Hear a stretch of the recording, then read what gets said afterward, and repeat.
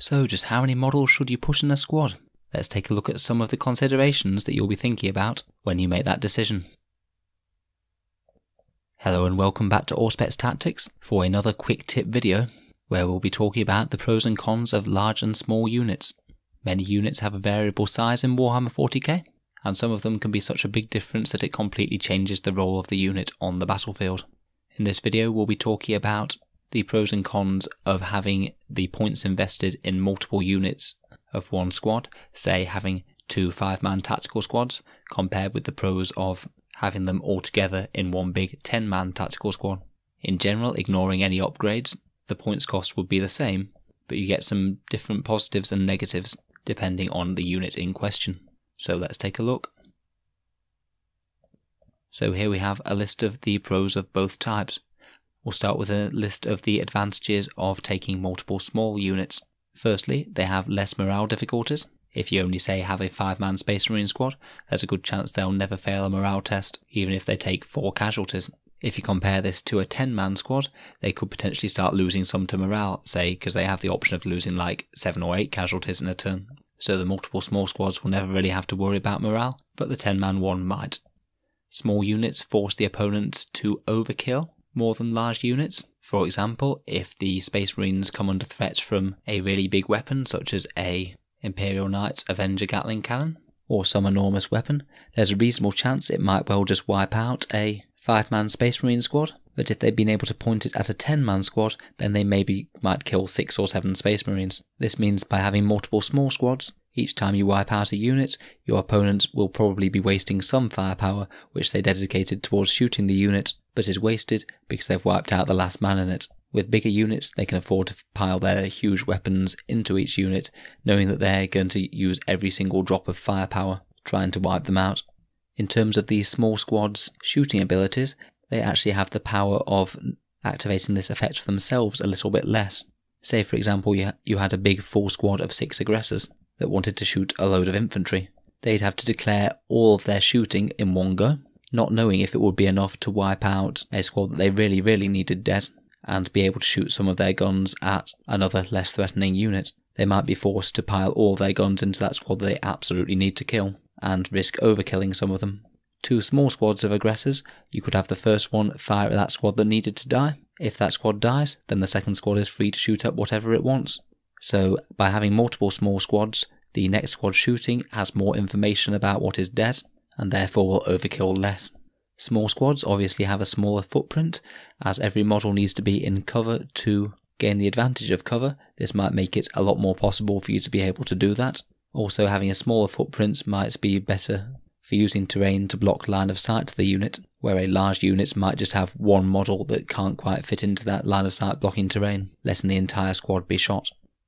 Smaller units fill up detachment slots better, which is why you often see troops in particular being run as five man squads in the Space Marine Army.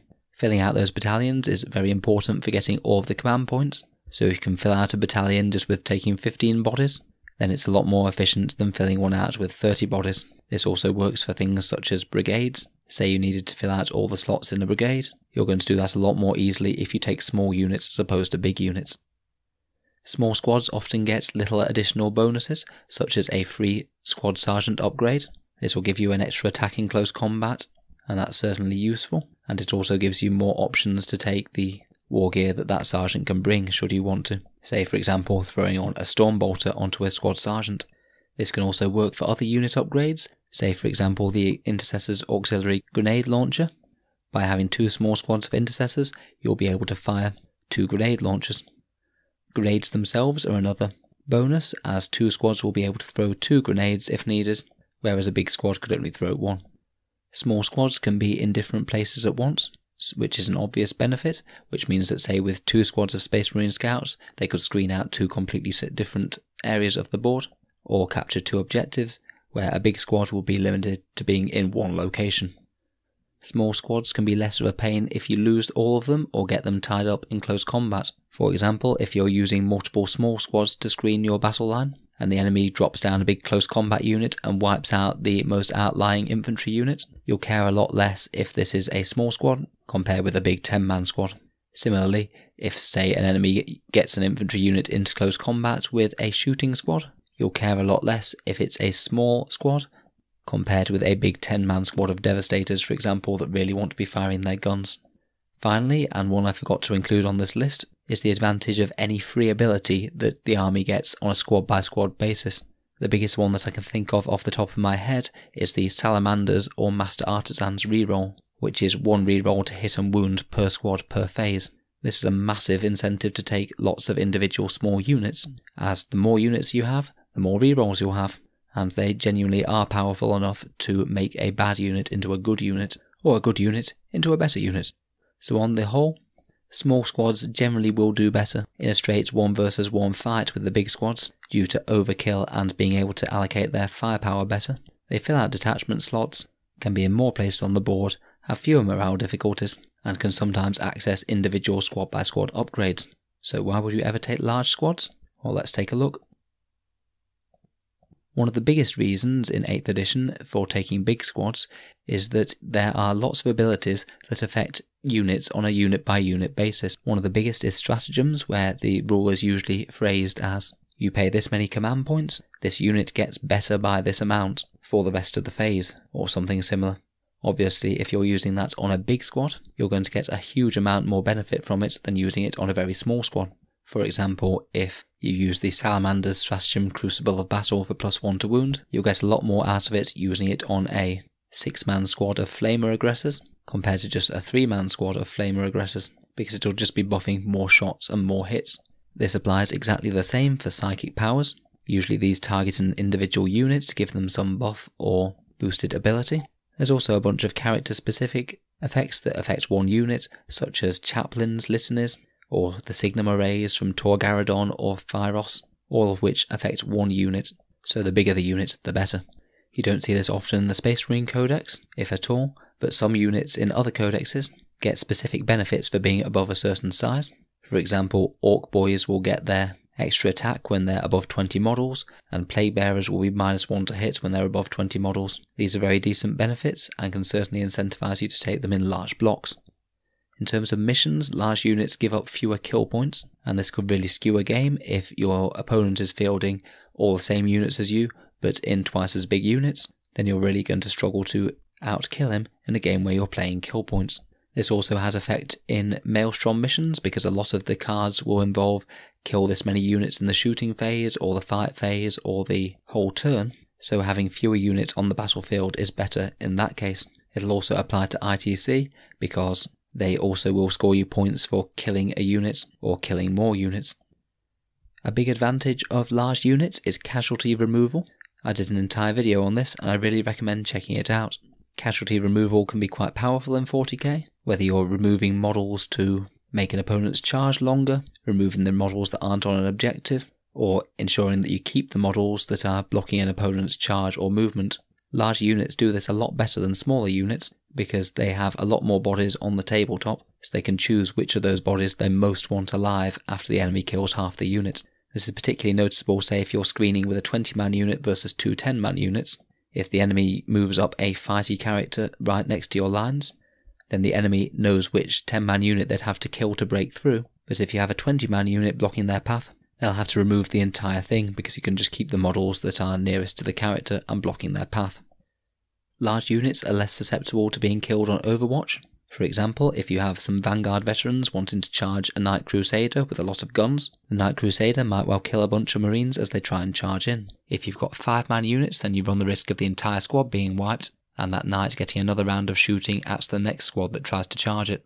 Even if you get some men in, the squad's likely to be so depleted that it might well not do much and just get wiped in close combat in return. If you're charging with a 10 man unit of Vanguard vets and you lose those 3 or 4 models, your squad's still going to be at decent fighting capacity once it's got in, and you know for almost certain it will make that charge. In addition, it's a lot safer to be charging with one big 10 man squad compared with two units of 5 side by side, as you really run the risk that only half of them will be able to get in. It'll also be more useful to spend that command point on a stratagem to re-roll the charge of the big unit to ensure they all get in, rather than spending that command point individually on one of the five men units.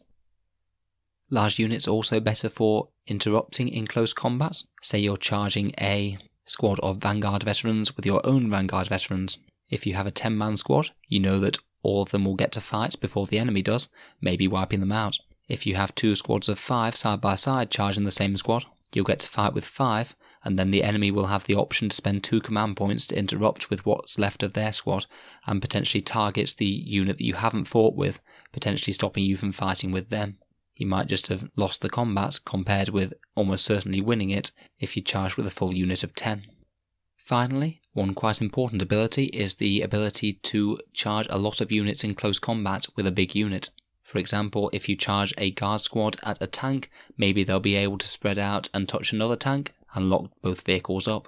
I've had more than one occasion where I've had a 30 man squad of conscripts early in 8th edition that's charged one tank and then use their charge move, pile in and consolidate to tie up something like 5 or 6 tanks, locking down the entire enemy battle line for the next turn having a bigger sized unit can really cause some massive disruption in your opponent's battle line. So overall, you'll have to make the choice about whether you want to field your units as large units or small units. But I think that this breakdown does quite well to illustrate why we often tend to see a lot of smaller objective scoring units, such as troops, being fielded as small units to fill detachment slots, get on different objectives, and optimize their mediocre amount of damage, compared with big heavy hitting units, say things like aggressors, Terminator squads, Vanguard veterans, or other big elite units, are often fielded as bigger squads, mainly to get the most out of the stratagem's psychic powers and one unit bonuses. I think it also demonstrates quite well why we see a lot of big screening units such as Plague Bearers fielded in 30 man units to take advantages of all the benefits of tactical casualty removal contesting multiple objectives, and tagging a lot of units in close combat. I hope this has been some help to you guys. I'm certain that this isn't a complete list. If you can think of any other benefits of large units or small units, please feel free to post them down below. As always, thank you very much for listening to Auspex Tactics. Feel free to subscribe if you'd like to see more content like this, or to support me on Patreon if you're finding these videos useful. Thanks again, and I'll see you guys in the next video.